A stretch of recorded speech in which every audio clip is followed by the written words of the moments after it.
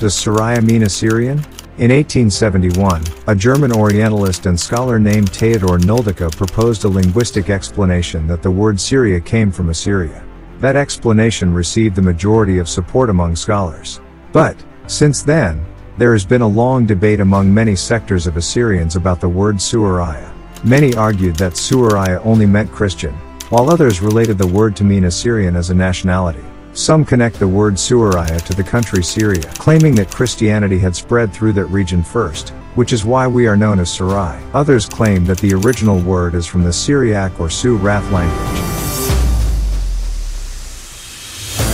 In 1997 a new 8th century BC inscription was discovered buried in a farm in the village of Sini, located 30 kilometers south of Adana in southern Turkey. It is called the Cinekoy inscription. What is so important about this inscription is that it is a bilingual inscription. It contains two ancient languages, a hieroglyphic Luwian, and Phoenician.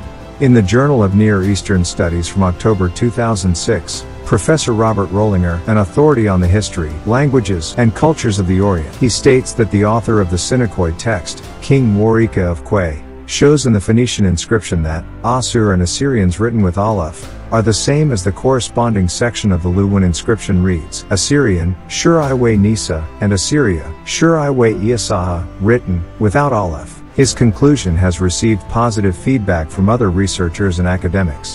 The Cinekoy inscription settles the problem once and for all, that Suariah means Assyrian.